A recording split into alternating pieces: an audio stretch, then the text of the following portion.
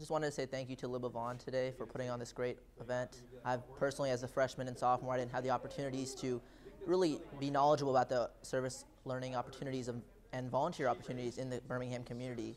And I was fairly involved being in GCL and the business honors programs. However, today, after you know coming to this event, it was a great uh, privilege and pleasure to learn about organizations such as Campfire or the Birmingham Museum of Art, as well as learning a little bit more about the the river and the pollution that's going on there. So I think all those things would be great opportunities for freshmen and sophomore and juniors and seniors and anybody in the community to get involved in.